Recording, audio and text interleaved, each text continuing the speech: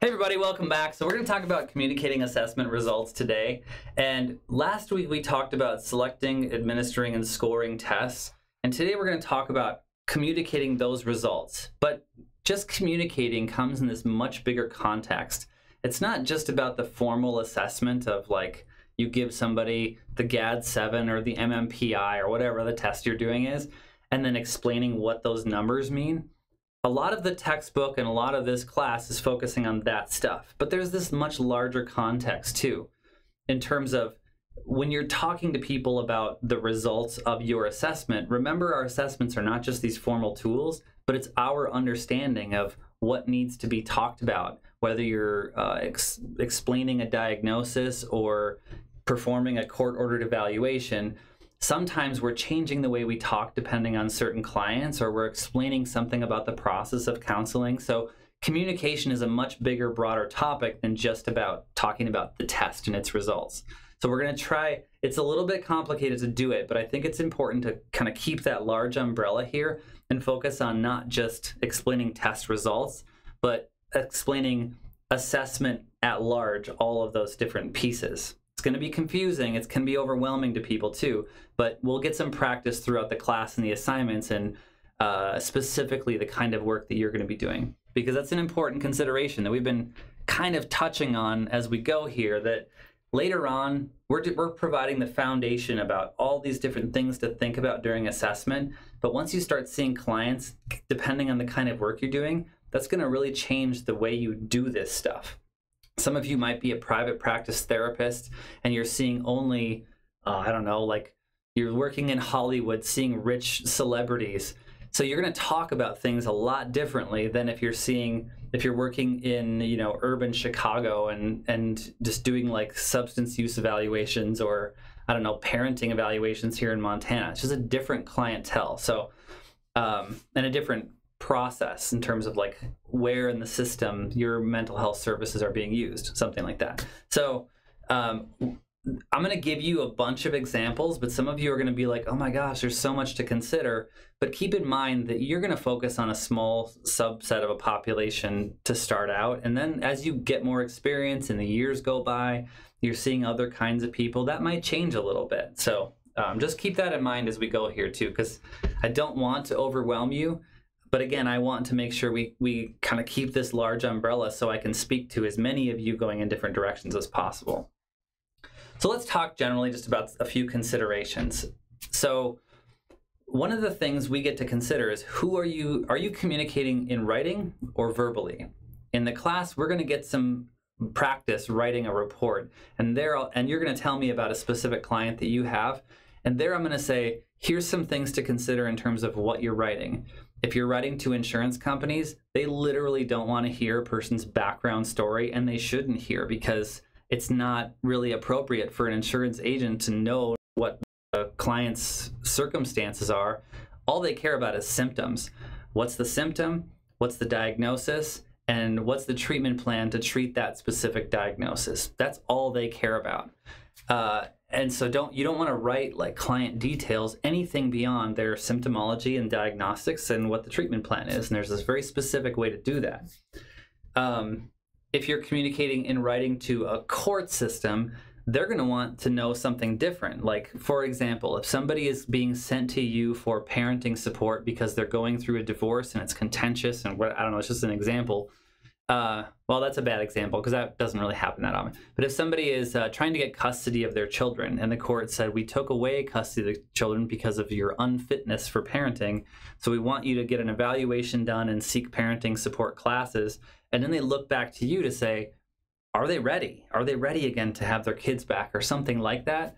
That's a different kind of writing because you're not writing just symptoms and diagnoses, you're writing about parental fitness, and that's a whole different thing. So, um, th- those are just two examples of communicating in writing. Uh, and by the way, your supervisor will help you figure that piece out. Whenever I talk to supervisors, they're like, why don't they teach you this stuff in school? And I'm like, okay, well, here are my excuses. It's hard, which is not really an excuse. Uh, but there is not enough time to explain all the different places that people go and, and counseling jobs that people have.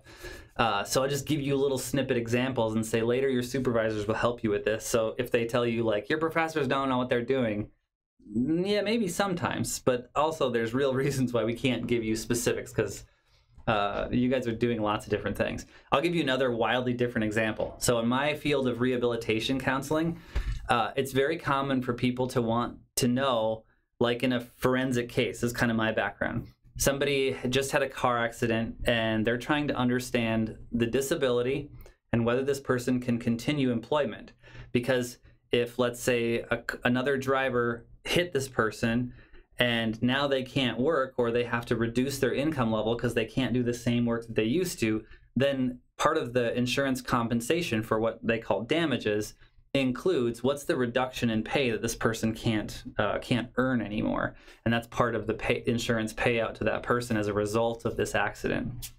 So what they want to know is they want to know how is this disability going to affect their employability. That's a whole different thing than just diagnostics and symptoms and that kind of thing, right? So. Uh, what do you write about? Well, that's the challenge here. Is are you doing this in writing or are you doing it verbally? Okay, now put the writing thing aside for a second. Now let's talk about communicating verbally. When we're talking about verbal communication, we could be talking about, uh, for example, the client comes in self referred. I'm a private practice therapist working with people with mental health issues of whatever kind.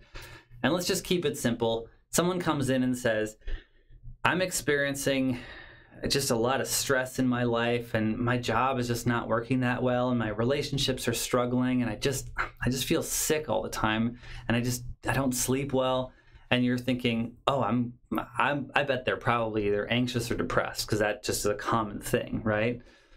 And this person says, "I just want to know if there's something really going on." Now, this can happen in lots of different ways. One you might say, here's the here's a little test. Let's test for anxiety yep, it looks like you have it. It's not just you being crazy. This is a legitimate medical condition. So, are you, is it because you're making bad choices or you're not morally equipped to handle the stressors of life or whatever? No, it's because you're experiencing a medical condition, right? So, the way in which you talk about that might change. Now, here's another example. What if somebody comes in with their wife and says, I don't know what all this counseling stuff is. Counselors are just a bunch of wounded healers just trying to fix themselves and they can't get life figured out. So now they have to try and convince other people of their problems, right? That's a thing that some people believe. Uh, and in some cases is actually real. If you look around at your peers, it's not as often as you think, but uh, we all have stuff, right? How we do that is what we get to practice. That's a whole other conversation. Um, but with that person, when you're communicating some sort of result about what do I think is going on, I might actually believe that this person could really benefit from some some therapeutic help uh, because the wife says they're being mean and rude and they're just grumpy all the time and they're hard to work with. Well, that sometimes is true.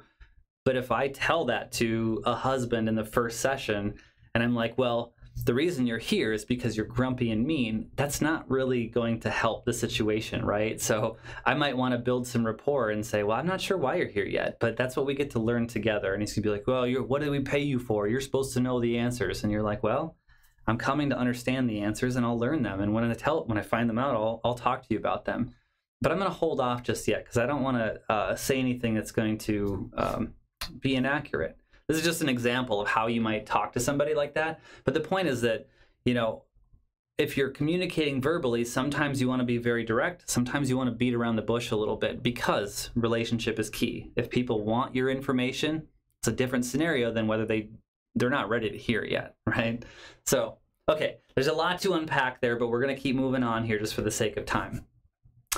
Number 2 says, who are you communicating to? If I'm talking to a judge, that's going to change the the kind of knowledge that I can expect that they would have. It's going to contain contain excuse me. It's going to change the way that uh, the you know like the vocabulary level maybe.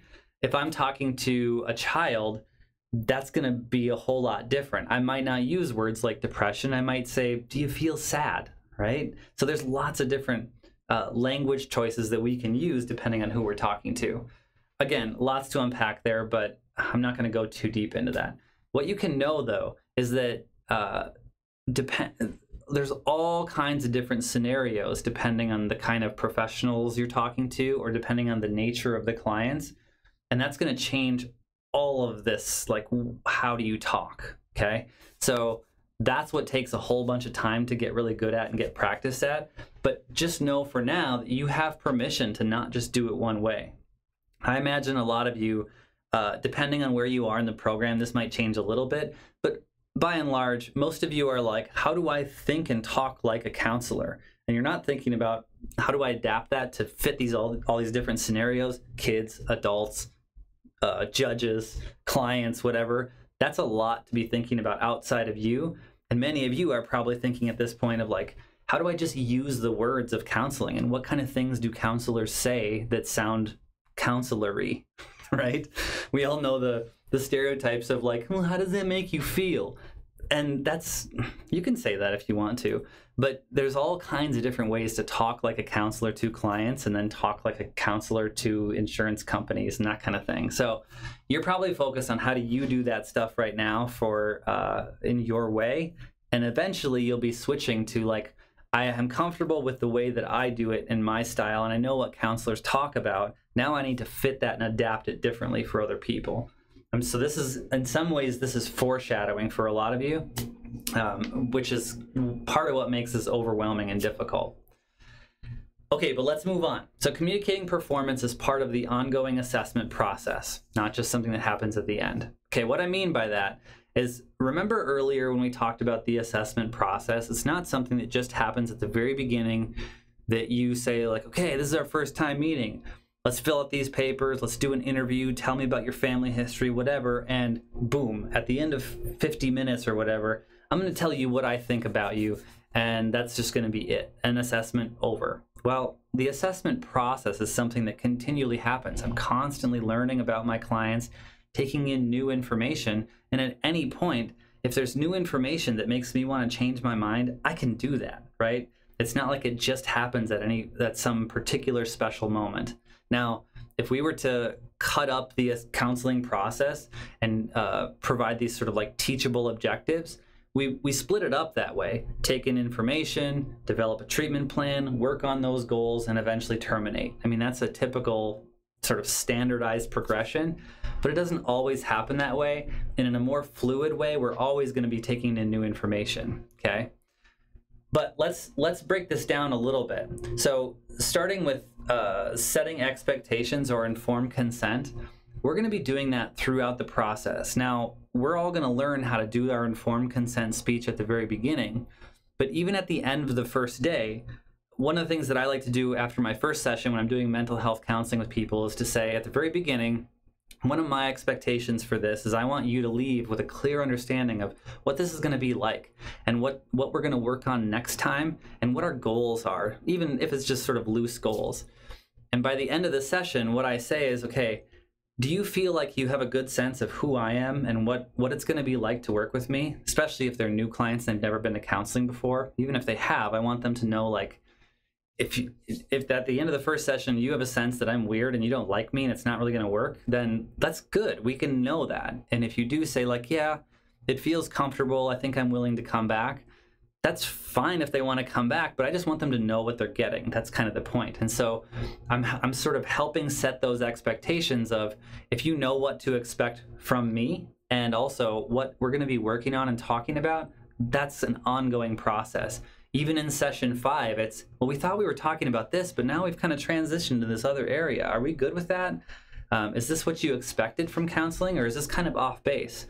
That's, a, that's an ongoing fluid process. Uh, what do the results mean specifically? Now, this might, I think this is generally talking about uh, like an assessment, the a formal assessment for diagnostic purposes or something like that. Um, again, somebody might express some symptoms now and then come up with some other later. Here's a here's an example of what I mean by that. Take this person that uh, with anxiety that I just talked about. They come in and say, "My relationships are strained, work is hard, and I'm just I don't feel good. Like my tummy hurts and whatever.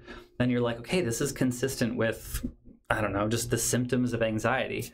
However, as you get to know a little bit more about a person and they start talking about their relationships, you learn a little bit about their early attachments and how uh, you know, the things learned in childhood, just to use a very vague uh, description, things learned in childhood, like coping strategies and defense mechanisms, are not, are not working now. And they're using them, but their relationships are strained and they have a lot of stress and worry about their relationships because of it, whether it's work or home or whatever. And so as you go through, the results of your assessment move from how do we just reduce symptomology to how do we go back and repair some of those early attachment injuries, to use some counselor terms. Um, so that's kind of an example of remember the performance doesn't just happen at the end, it's fluid and it changes. And as we learn more about people, uh, we want to tell them what the results mean specifically. Well, the results of my deeper assessment are that people learn strategies early in life that don't work later on in life sometimes. And when we do that, I want you to know that we're going to talk about the way you interacted, the process of your interactions with your parents or siblings or whatever it was, and how those show up later in life. So, um, again, lots to unpack there, but we'll just kind of keep moving for now. Uh, number three here what do the results mean for the person, their life, their treatment, etc.?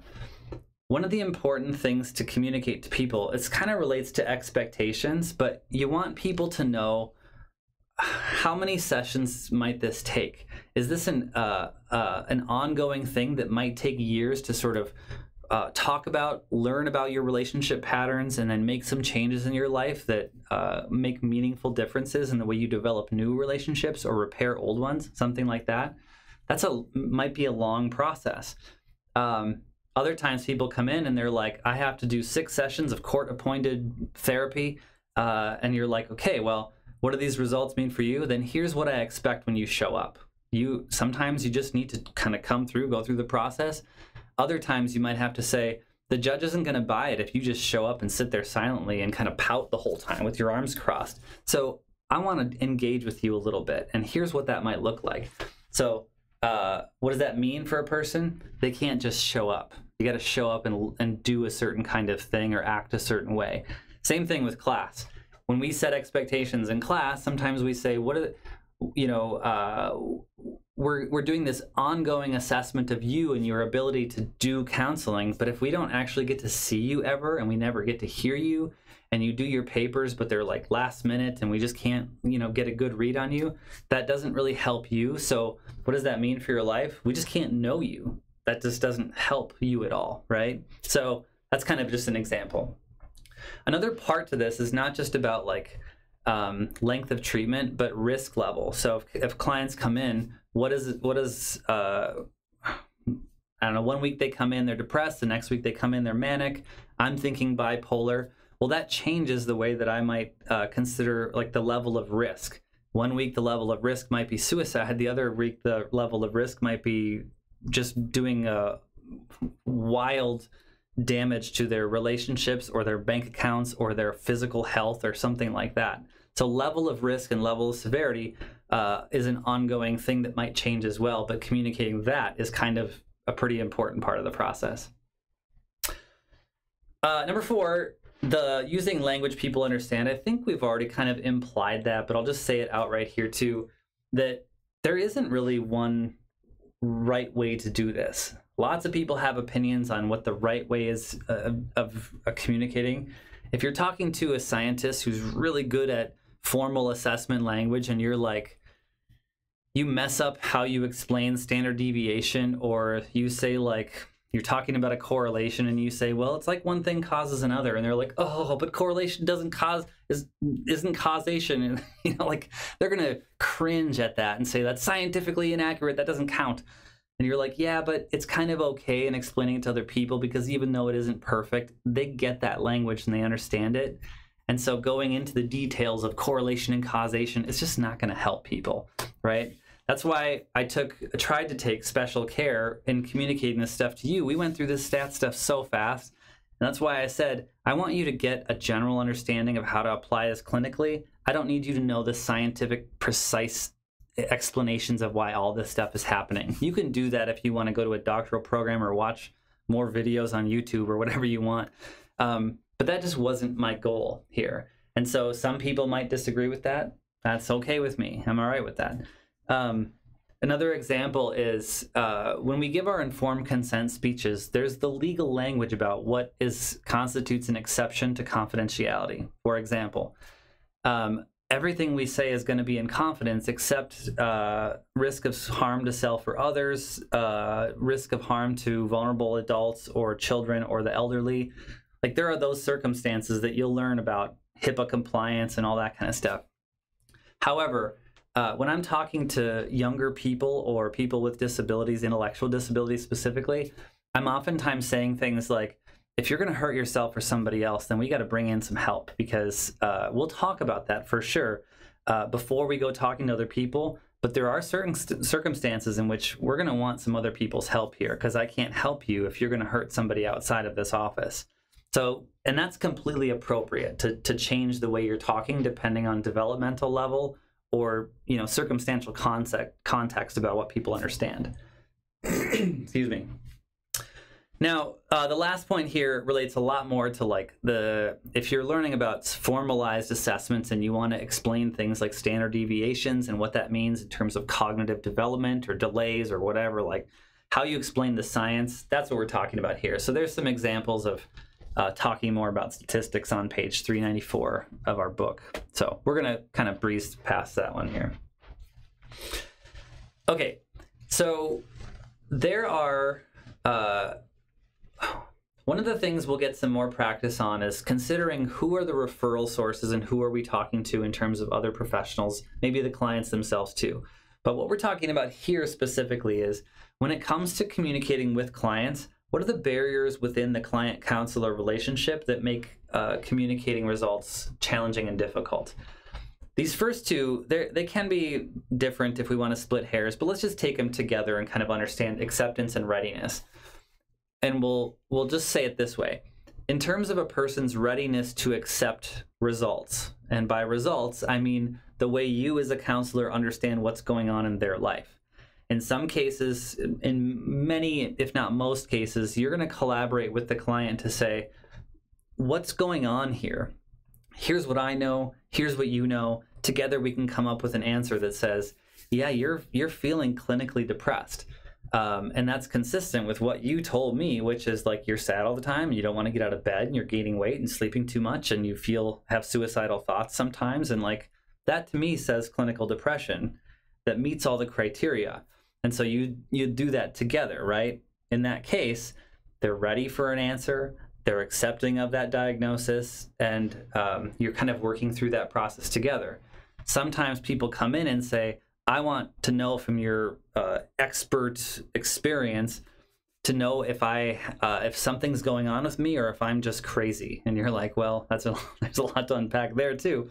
Um, you're not crazy. There is something going on with you, and it's called bipolar one or I don't know, some, you know, you have a specific social phobia, and that's explaining why you're uh, not wanting to leave the house or you stay in the safety of your security bubble, something like that. Um, people can be just generally distrusting of the process. Remember the husband that I talked about earlier who was just like, I don't want to talk about my feelings. I don't think anything's wrong. I think my wife's just sad all the time and she just needs to like put on her big girl pants and pony up or I don't know what people say in those situations, but people can be distrusting of the process or of counselors. And um, if you think, here's a guy who's experiencing depression, but one of the things we know about men sometimes, and sometimes women too, is that instead of feeling depression like sadness, it comes out as anger. And they're like, I'm just irritable and pissed all the time. And you're like, well, it's depressed. No, I'm not depressed. Depression means sadness. And you're like, well, that's not really what that means. Um, but they don't know that and they can be distrusting of those answers. So um, that can be a challenge in terms of giving those results. You are depressed. That's the, it meets clinical criteria. I just don't like it, right? Um, there's lots of different ways that can come out, this sort of readiness thing. Uh, typical example that most people understand is uh, talking to alcoholics, people who are like, yeah, I drink a lot, but it's not my problem, it's their problem. Now, this is a place where uh, understanding about um, readiness of um, stages of change. Sorry, understanding about stages of change and how that is conceptualized oftentimes is through the motivational interviewing process if I know a person is at the pre-contemplation stage yet, which is I don't even see a problem here. I don't know what everybody else is talking about. Yeah, I do drugs. Yeah, I drink, but you know, it's not hurting anybody. It's just hurting me. So why do I have to do anything about it? And they don't see the, the harm and hurt that it's causing other people. Um, that says a lot about where they are. That's a lot different than somebody that comes in and says, um, I'm kind of at the planning stage, pre contemplation. Now they're contemplating this problem and they're thinking about it. And now they know there's a problem, but they're planning, okay, like I don't, I'm not ready to work on it yet because I don't even know what to do. So I got to set some plans. That's a whole different readiness level. So conceptualizing how a person is willing to accept results that you need to communicate through that process can be really helpful uh, in terms of identifying where they are and what, what can help them get to that next place. Um, by the way, that's a that this is a challenging thing for new counselors to be to be working out. So if you're like, okay, yeah, I want to learn how to do that, learn those stages of change, just memorize them right away. And as you look at other people and say, okay, I can identify the problem here and I can identify the stage that you're at. What you can be thinking of next is how do I facilitate getting somebody from contemplation to planning or pre contemplation to contemplation, something like that. We often hear families come in and say they don't want to acknowledge there's anything going on. How do I help them do that? And they're like, well, I've told him a million times that he's just depressed and he doesn't believe me. And you're like, okay, yeah, but that's not actually working right. Like, that's not going to help. so, um, that's where we can come in with our experience of facilitating those kind of interventions. Okay, let's move on. Nobody wants to hear bad news, right? I mean, some people are okay with it, uh, but generally speaking, experiencing negative results is not something that we want. And here's just a kind of a extreme but not uncommon example. Somebody wants to get their kids back and you have to do an assessment and you're talking about, you know, parenting fitness and they're like, "I'm really working my hardest. I use once in a while, but you know, I just want my kids back cuz I love them so much." And and you might have to say if you're using actively, you're not ready to have your kids back and they're like, "But I love them so much, and I've been doing so good during my visitations." And you know, that those are challenging situations to hear that. So, uh, in there's lots of situations where people don't want to hear this. Here's a completely different scenario from my rehab world. Um, somebody thinks they've been treated unfairly or discriminated against because they wanted to get a job and they they were denied employment and they say it's because I have a disability and they're discriminating against me and they need to do things differently. And in some cases, that's absolutely true. In other cases, it's not that they're discriminating, but the conditions under which they have to, uh, the rules that employers have to follow do not constitute uh, them doing anything wrong per se. Is it unfair? Does the system need to change? Maybe, but the way definitions are made of what is a disability, if this person doesn't qualify, then they don't get that support, even though the way they understand their disability or their identity might be different. Here's an example. I could beat around the bush a little bit because it's complicated. People apply for Social Security benefits and they say, I have a medical condition. I went to the doctor and, and I have this disability and, uh, you know, I want to get, I can't get a job However, what they don't know is that they could get a job if they could work through uh, finding the right employer and have the right accommodations. And so they're applying for Social Security and they're not going to qualify for it. And because a job exists that they actually could do, but they're like, I don't, I can't do that job. They just don't know it yet. So those are situations in which uh, people don't want to hear that they can't have benefits. Uh, but if they did hear that, like, but there's a better answer here and there's another way to work through the process through vocational rehabilitation, then uh, that's kind of a way to get around this. Okay, keep moving though. Um, flat profiles. This is a tricky one without showing throwing an example, and I kind of want to, but we'll get to this when we talk about career uh, career assessment. We'll do this one called the O*NET Interest Profiler. Some of you maybe have heard of this. Some of most of you probably haven't. But when you're looking into what does a person want to do with their life you can use an interest profiler to start identifying areas that people like to do versus things they just don't like to do.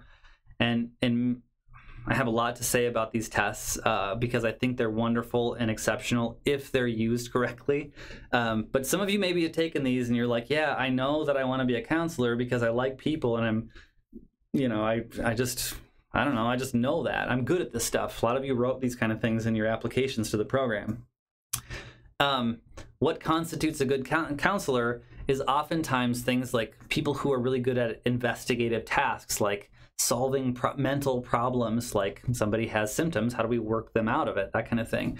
Um, some of you who maybe have this sort of like creativity, artistic talent, uh, not everybody does, but for people that have that kind of stuff, sometimes you can think outside the box and say, well, you know, we have these treatments, but here's what it's going to look like specifically in your life. And that takes a little bit of creativity to come up with uh, treatment goals and stuff like that. Other people aren't that creative, but they just have this really good systematic way of working through issues. So, um, in terms of using an interest profiler, it can help identify not just like the specific jobs, but the kind of person you are and the kind of work that you do. Now, one of the things that can happen in relation to flat profiles is some of you, you know exactly, I love people, I hate working outside, I hate uh, counting numbers, I don't like uh, business people trying to sell people on ideas. I'm about collaboration and working with people, and client. I believe clients are empowered to make their own decisions. In those cases, you have very specific interests, and so it's clear like you should go in this path. However, uh, others of you are like, but I kind of like all these things. I like uh, sort of convincing people of certain things, like to, you know, to to use this intervention or to buy this car or whatever. Some of you like to. Um, I don't know. I like to. I like Excel sheets and I like fiddling with numbers. You know, I'm not that good at it, but it's fun. I enjoy it. You know, or I like building with my hands, and these are all sort of different. Uh, skills that would put you in different job categories or something like that. I'll explain what that means later. But when that happens, you end up with a flat profile. You're interested in just about everything in a very similar way, in which case it doesn't really point you in a specific direction. And this happens in mental health uh, assessment too. When somebody comes across as like, they don't really peak in terms of depression or anxiety or somatic symptoms or anything like this, but they might have like just a, you know, like a, a symptom progression that just sort of seems like it's really hard to identify what is actually going on and um, it's hard it's really hard to explain this without showing you a specific example so i'm going to hold off i think on explaining that but if you are looking at assessment reports you'll run into this kind of thing and it'll you'll say like well how do you even tell then if you can't interpret strengths and weaknesses or symptoms a symptom profile because the results seem like they're not valid but yet they actually are. So that's just another challenge for a later day. Um, okay, uh, just to reorient, what are problem areas in terms of assessment feedback with clients? Motivation and attitude. Um, this these kind of are similar to acceptance and readiness, but not wanting to see results they might feel are imminent.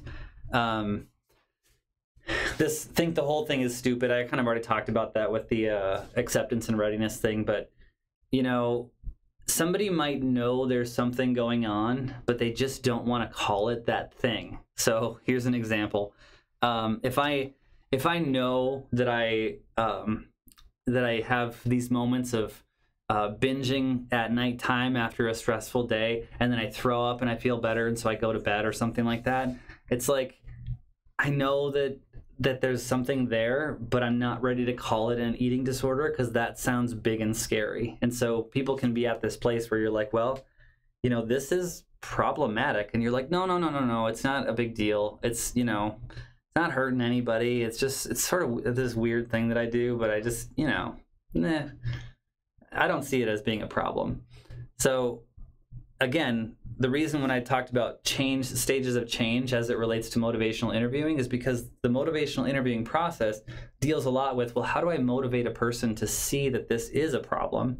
And then next after that is how do I motivate them to say, now that you see you have a problem, how do we develop some way of getting out of that? And then uh, envisioning a life without those conditions or that those behaviors and how much better that could be something like that. Then we can set up a plan then we can work on the plan all that kind of stuff.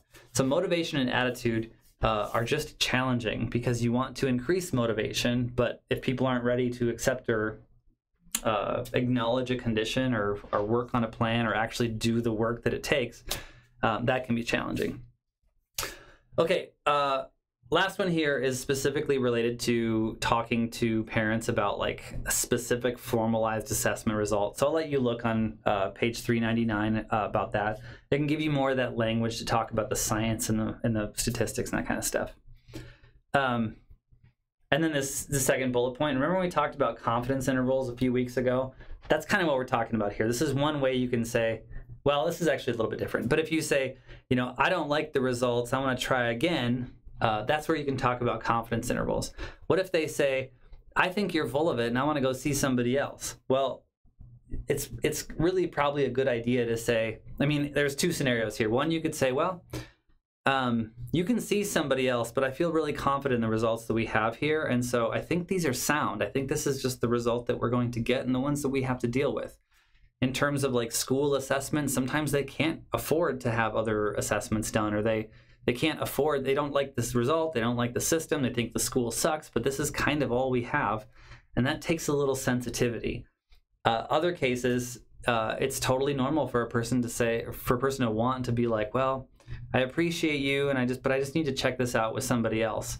Um, and you you can be like, well, that's that's totally fine. You know, I don't want. It's better if we have a more good minds working on this issue, so we can all come together and get it right. You know, so uh, how you do that specifically is something that you'll want to practice uh, as you get out into seeing clients and stuff. Okay. Um, I know I spent a lot of time on those those few slides, but there's just so much packed in there that I wanted to spend that extra time. But now I'm going to speed up a little bit here, okay? Um, when we write assessment reports, we're now out of talking to clients specifically. And before that, we talked about communicating with other professionals. We're kind of going to get back into that communicating with other professionals because oftentimes reporting uh, is that process of in written form. How do we then send this to an insurance company or send this back to the judge or put it documented in writing so that it can be transferred so that you don't have to verbally say this over and over and over again to people? Um, written communication is an important part of this process. So um, we're going to get some practice with this. There's four purposes for writing a report in writing, and I've given you just a couple of them there informally, but one of them is describing the results. So you want to describe the results to the client because the client is really the priority here. What's the outcome? What happened? What was the process we went through? Uh, what was the outcome and then what does that mean for you? We talked about like setting expectations and that kind of stuff earlier but that's kind of part of that. Record and interpret the client's results performance on instruments. So specifically if you gave any specific tools what happened there? We've already had some practice with the uh, the Beck's depression inventory and the GAD-7, and we're exploring some uh, PTSD results and that kind of thing that's what we're talking about here. It's like specifically as it relates to a, a, a test. What, what does that mean? Communicating assessment results to the referral source. Now we're not talking about the client, we're talking about the referral source. So here's the specific result on this test. Here's what it means for the client, and here's what it means for what the referral source wants to know. Again, there's a lot going on there, but we'll get some practice with that.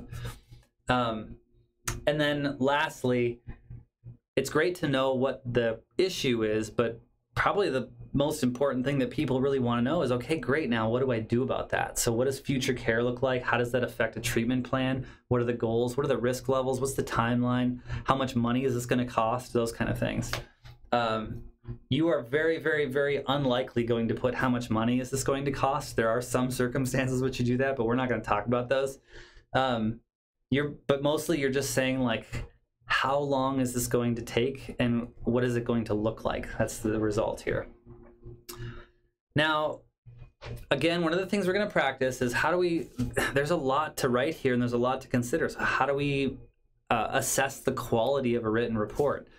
I'm going to help you with that because likely you guys, when you're starting your final projects, you're not going to know like what's a good report, what's a bad report, how do, am I writing too much or too little? Am I using good words or bad words or, you know, that kind of stuff. And you're just going to kind of give it a shot.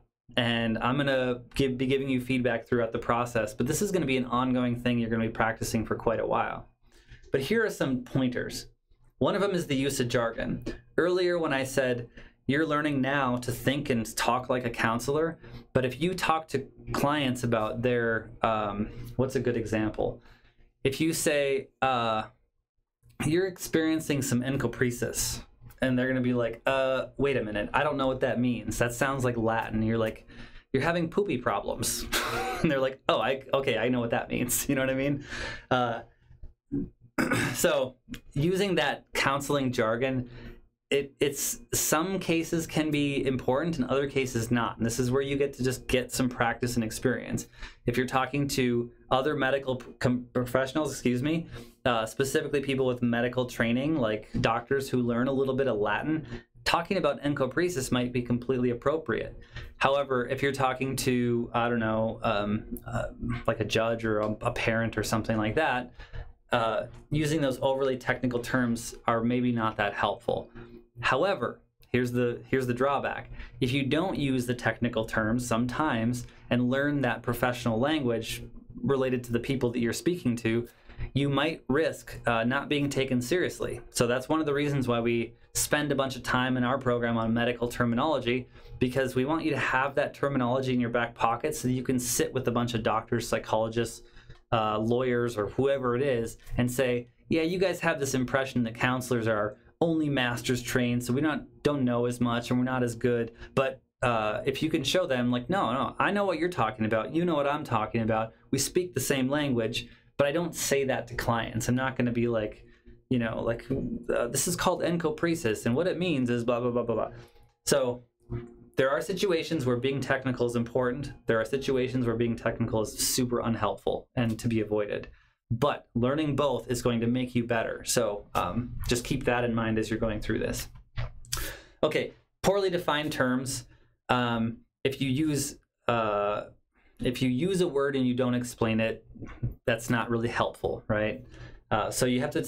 Sometimes it's helpful to define terms. However, if you're overly defining things and people already know what you're talking about, they're going to be like, "Ugh, just get to the point." You know what I mean? That's a hard hard line to walk, and it's hard balance to set. Um, but there is there is kind of a way to successfully do that. Um, abbreviations not described. If you say CBT, a lot of the world is going to understand what CBT means. A lot of the world is also not going to understand what that means. Even if you spell it out, cognitive behavioral therapy, sometimes people will get that, other times they won't. Sometimes you have to say, uh, a form of therapy which focuses on cognitions and behaviors is called cognitive behavioral therapy or CBT. And so sometimes you spell it out, sometimes you can just say you know, depending on who you're talking to, you can just use the acronyms, but be careful with those. And by, by be careful, uh, I don't mean like it's going to hurt somebody. I mean, you're just going to not be able to successfully communicate as well. And there are consequences of that, but they're not high risk ones, but pay attention to it. Um, poor or illogical explanations of results. I think that one's self explanatory, uh, but it just, again, is going to take some practice. Vague recommendations. Now, here's, here's a, I just went to a training a little bit ago with uh, some clinical supervisors, and they were like, when you're developing treatment plans and establishing, uh, like, establishing what what kind of tests you're doing. I'll give you an example here in a second. When you're doing that, you want to be as vague as possible because the actual things that you do in counseling are not necessarily what you write on papers. And here's what I mean by that. This is this is one of those things that people are going to be like, "Whoa, you can't say that," but hang with me for just a second if I write uh, that client was seen for an evaluation and had a symptom profile consistent with major depressive disorder, okay, that's that's the diagnosis, um, and then you list all the symptoms, and then you say uh, will engage in cognitive behavioral therapy for six weeks with reevaluation period at the end. Okay. What does cognitive behavioral therapy actually look like in these circumstances? Well, it might look like uh, either sitting in a room and talking to a person about their uh, life experiences. It might mean uh, an in-home uh, working on something else. I don't know, like you know, working with the family in home. Some of you are experiencing, or not experiencing. Some of you are working in school settings. So it might look a whole bunch of different ways, but uh, using vague terminology in some cases allows you the flexibility to to perform your jobs in a way that other people don't necessarily need to know the specifics of. So it's always this hard balance. There are situations in where being vague is okay. However, what we're practicing now at this stage is being very specific and being very um, being able to use the language in a very specific way. So one of the things that happens is we'll spell all your recommend and not in this class so much but we'll spell out like what does the assessment result mean? What is the family history? And we're going to like extend that process out so we can get as much detail in as we can. Partly that's so i can understand how well you're understanding these things um, and i can give you a grade based on what you need to learn and where you're growing and that kind of stuff. Um, but you might get out later and someone will say like don't write that don't write that because then they're going to ask questions and they're going to pick on this and then it's going to cause more issues. So don't write that. And you're going to be like, well, is that ethically appropriate? Is this okay? In some cases, it's not okay. In some cases, it is. And I can't unpack that anymore for you right now. Um, but it just sort of highlights the challenge. There are places where it's totally appropriate to be vague, to give yourself some wiggle room uh, to do treatment in the way you do treatment another example of that is not CBT. If you say, we'll engage in mindfulness exercises, well, mindfulness exercises can mean a whole bunch of different things. That could mean uh, progressive relaxation exercises in a group setting, or that could mean just becoming aware of the the emotions you're experiencing within uh, your relationships or something like that it's a lot of different things, but you don't want to be like, well, client will experience progressive relaxation only to find out next week that they're not going to they're not going to be able to schedule in that group and now they can only do the thing in your office. Then you're like, well, now I'm being inaccurate and the insurance company's going to ding me on it. so those are cases where it's appropriate to be kind of vague. Um, other cases are where it's not appropriate is like if you say we'll engage in CBT counseling only because all people love the evidence-based whatever of CBT counseling, and then you go do something that is not evidence-based, like uh, we're gonna try, I don't know, we're gonna do a weekend retreat and take mushrooms and see if anything happens. Now that whole psychedelic assisted therapy is is we're now getting more evidence and more understanding, and we're understanding the risks and benefits. But before you go into things that, that you don't understand the risks and benefits, that's not appropriate to just say you're doing one thing and, and taking a huge risk in another place. So uh, for now, there's a there's a lot more, but for now, just understand that this one is one of those where uh, you might hear somebody walk it back later on and be like, no, no, no, be vague, it's okay. so uh, we I'll try and help you be specific here in class. Poor organization. I'm helping you a lot with that one in terms of like how do you highlight information in a way that that uh, communicates the important stuff right away, um, and what makes logical sense. That's something we're working on right now, and we can. Uh, well, I'll help with that immediately. Emphasis on numbers rather than explanations. I think that one probably speaks for itself if you just write a bunch of numbers, especially if you don't understand them, but you don't say, how does this number apply to a real life scenario, then it's not really that helpful. And we talked about when we were going through stats, I kind of emphasized a few times this stuff actually, yeah, they're numbers, and yeah, we're sort of splitting a person's mind up into these different concepts and whatever, but they apply to real life scenarios and they mean real things to real people. And now we're saying, yeah, and then say how it applies. Uh, thinking about okay, this person has a depression level of 17 on the on the Beck's depression inventory, but then you have to say, what does this mean for you? What are these symptoms that this person's experiencing? Uh, how do they show up specifically in this person's life? And then what are the treatments to work on that specific thing from that number? Because that number says something about severity. And then if you explain, this is what's going to be good for this person to help them, then you're kind of closing the loop, that logical loop. And then uh, excessive use of computerized results. Uh, don't copy and paste. That's basically the moral of the story there. We talked about that a bunch in class, so I'll just I'll skip over that one for now. Uh, how much do we got left? Oh, I gotta hurry up probably. This list uh, was at another place in the book, and it's largely the same thing that I just talked about. So I'm gonna skip over most of these. Um, we talked about jargon and abbreviation. Uh, refer to yourself in the third person. I have mixed feelings about that because, again, that depends on who you're talking to. But when I said, pretend you're talking to a professional audience that you want to look good in front of, you want to look competent and capable, um, talking to your about yourself as the counselor, um, you know, the rehabilitationist, the the therapist, whatever, that can kind of give you what a lot of people consider a level of professionalism. Um, but again, in depending on this different scenarios, you might use yourself in first person, like say I, the counselor, um, or you might even use your name, like if there's multiple people working on case management or medical services or whatever, you might say, Aaron said. So there's lots of different ways to do that. I'm not convinced that being third person and and referring to yourself as the counselor all the time is always the best scenario. All of you guys are going to have different ways of doing that depending on your background, training, and practices and stuff. So, you know, just do what works and uh, think of, just think about it in the back of your mind. Sometimes I'll give you uh, some advice about doing it a different way, um, but take into account that there might be a reason for it, or it might just be a matter of style. I'll try to differentiate whether I think there's a real benefit to doing it a different way and explain that to you. Um, otherwise, it's just style, and that's okay. So, anyway, um, let's see what else. Oh, number four, avoid using needless words and phrases. If you can get your message across in one sentence or 10 words or whatever, if you're adding more language, it's probably just obfuscating or making unclear what you're trying to get out. Um, when I verbally talk to people, like you guys, you can you'll see this now all the time now that I'm saying this. But sometimes I mumble and ramble and I say things in multiple ways. And it's partially intentional because I'm teaching and I want to give you different examples and different ways of saying it. But it's also me just sort of like talking a lot and uh, you know, I work on being more concise and efficient with my words, but sometimes I just go like blah blah blah blah blah blah. And so that's something I'm always working on is just avoiding the unnecessary, something like that. Um, avoid redundancies is kind of the same thing.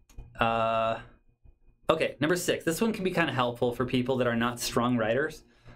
When we, when you uh, were in high school and they were teaching you how to write an essay, they said, okay, we're going to do one introduction paragraph a thesis statement, two to three sentences, a conclusion statement. Then you're going to do your uh, your three supporting paragraphs and a conclusion. And each one of the supporting paragraphs has a thesis statement, two to three sentences, and then a conclusion or transition sentence. And like they broke it down to that level of detail. What we're talking about here is at the very first line, if we're going to break down this process and have it really formalized and make it easy for you to practice, the very first line is say what you need to say and then explain below. Because if you start explaining and you weave this narrative story and then say, and the conclusion is, that can be really hard for people to digest, especially when you're doing technical writing like this. In other words, let's say you're gonna, you just did the, um, you did the Beck's depression inventory, and here's the number, and here's what that number means, and then you're gonna leave a little narrative explanation instead of saying like, clients showed symptoms of blah, blah, blah, blah, blah, and that is consistent with depression. They have to go through all the symptoms in order to get to the conclusion, which is they meet clinical criteria for depression. Instead, what we're saying here is that make that declarative statement right above. Client shows consistency with major depressive disorder based on this symptom list, and then you list them out below. So start with the start with the final answer, and then use supporting paragraphs below because as you're going through reading other people's par- uh, other people's papers and you're looking at other medical records and stuff the way we scan papers nobody's going to read in detail some cases it's read in excruciating detail but 99% of the time other professionals are just going to like skim through and sort of see results and then say okay what's the what's the meat of what i want to get out of this uh, cut all the fat so helping people get to the most important and then allow them to go into detail uh, below that's what we're talking about here. Um, right, background information and observations in past tense. That's kind of splitting hairs, but if you say somebody lived in a certain town, uh, don't say they live in a certain town because that's misleading. They're not living there anymore. They lived there before. And so looking at tense, that can be something, it seems obvious, but th- I make these mistakes all the time. It drives me and anybody who's editing my work crazy. but uh, and I'll try and catch them for you if I see them. But uh, it's just a good thing to practice. Um, write assessment results in present tense. Uh, that one is actually harder than it sounds like because um, sometimes we want to say, well, they took the test a few hours ago, and I'm writing my report the next day, so I want to write them in past tense because that's what it was at the time. However, you always want to write, even if it's an hour, a day, or a week later when you're doing your documenting, you want to write it in present tense. That's kind of an important one, and people mess that one up from time to time. Uh, information irrelevant to the purposes for the assessment generally should not be included. Okay, you're going to get a whole bunch more practice, hopefully, uh, about this later. This is when I was saying if you're writing about like the client's story and telling personal details about them in the way that you report to other people, for the purposes of this class, it's okay, and we're going to do that because I want to understand how you can bring in all of the context of the client, give assessment results, all that kind of stuff. We're bundling it all together. However, some of that stuff is protected health information that you don't need to share with other people. And if you're if this happens to you, it's not going to happen to everybody.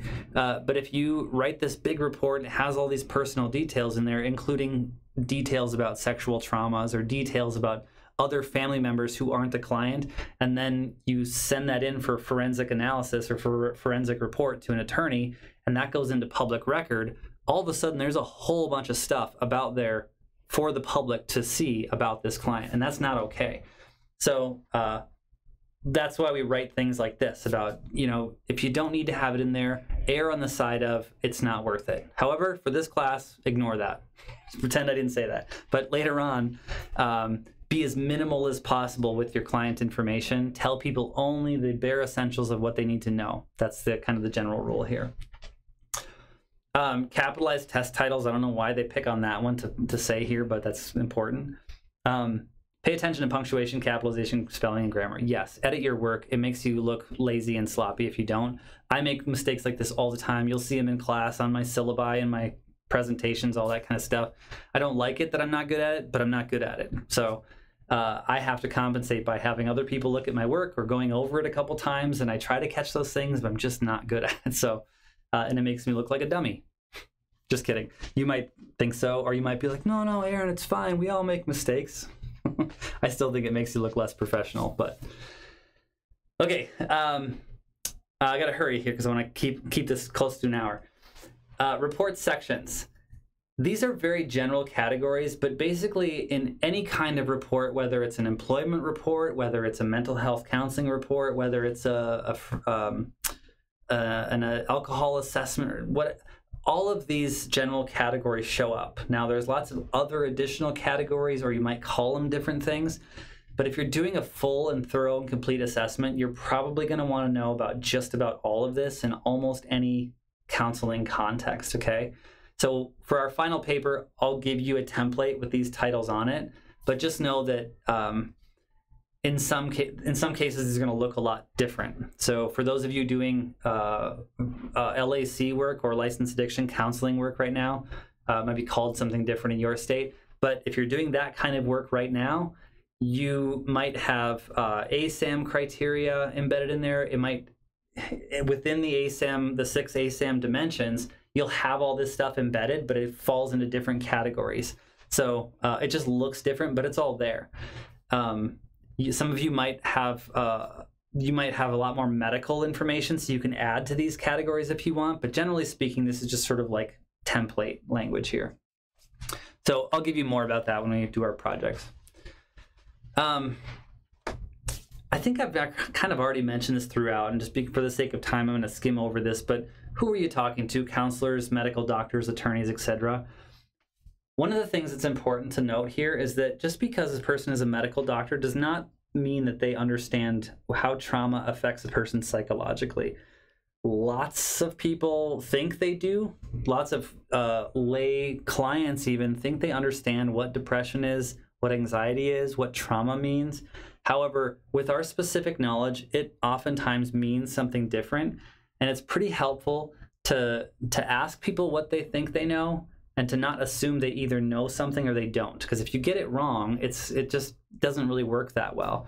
If you assume another counselor knows exactly what you mean when you say solution focused therapy not everybody really does. Like we all use the words solution focused or motivational interviewing or cbt or existential therapy and yet it's still kind of vague in a lot of our heads right so what you can do is you say, what do you know about this, or what does it mean to you, or how do you understand it? Because here's how I understand it. So it's a good idea just not to make those assumptions because I know many of you have heard this probably, but making an assumption makes an ass out of you and me. See that? See that how that works? There's the ASS, you and me out of the word. So uh, in other words, that's that's a little bit crude. But what it does is it makes us both look silly when we're not speaking the same language or on the same page about what things mean. So uh, just it's it can be uh, so easy to try and assume that people know that, especially when we're self-conscious about what we know and we're like, I need to sound really smart, even though I don't really feel that smart. So I'm going to use these big words, assuming that they know what they mean, even if I feel like I don't. Um, it just doesn't work. So if you say, "Here's what I understand this to mean," what do you think it means? It helps us really align. It helps me get smarter because then I learn from other people too. So be be honest with yourself and also be honest with what other people can or cannot know or do or do not know, something like that. Um, again, think about what information people need to know, privileged communication and privacy. That word privileged communication, we haven't talked about that, I don't think. Um, but basically what that means is if a if somebody goes into an attorney and says, "Hey, will you represent me in a case? I just uh, I'm in trouble and I murdered somebody, but I need you to get me off. That attorney, uh, that conversation they have about did you actually kill this person? If they said yes that's considered privileged communication because the attorney doesn't need to say that because their job is literally to to convince everybody else otherwise. Their job is to say this person couldn't have killed anybody even though i know the difference that, that they did do it but that is so private and so secret because the process of you know legal defense requires that that it's called privileged communication because it gives the attorney special privileges to not disclose certain information. We as counselors everything that we talk about with clients is considered privileged communication except in certain circumstances whether there's risk to harm or self or others vulnerable adults and children etc or if there's a subpoena. That's part of that informed consent process that you have to tell clients about. And when those subpoenas happen, there's certain things that are considered privileged communications and certain things that aren't. And that's where it's a whole other thing that we're not going to get into today. But um, uh, pay attention to that, learn that, ask about it later. What can I say and what can I not say? And when I said earlier, err on the side of everything is private, don't give it out do that until someone tells you, yeah, but you have to give this to the judge. Like it's just, you have to do that. so um, there's a lot more to know there about how you help protect your clients from things becoming public because sometimes judges say we need to know this in order to find do our jobs and you're like yeah but this is going to do more harm than good so i'm going to keep this private with all due respect to your honor or something like that um, uh, must get releases of information. Yes, we all know that. I I wish I could spend another hour just saying that over and over again because make sure that clients give you permission to talk about things, even if even if you uh, I don't know. Just get trained on this. Ask about it later. I won't say anything more about it now, but it's so so important. Uh, communication with public. This is something that was added in the book, and it's going to relate to some of you in your work, but not everybody. But there are certain circumstances, like if you're working at a school, for instance, and I don't know, like you have to send home a, a, a newsletter about how the kids are doing, and you're like, well, I know the kids are really struggling, but how I communicate that to uh, to the general public, even if it's just an email to parents that could get out to general public, how you do that is a very sensitive thing. And so, what things do you say? It's like a PR problem, you know? What things do you say? What do you not say? Um, there's a lot more to talk about with doing that. You're probably not going to do that kind of stuff until you've been in a job for a while. But some of you might, it's very real to go into a community with doesn't have enough services and you find yourself in a nonprofit and very quickly even maybe before you're licensed you get promoted to director and all of a sudden you're in a role where you have to do these kind of things and you're like uh, I'm not feeling very confident yet about my ability to communicate with public about things that are going on.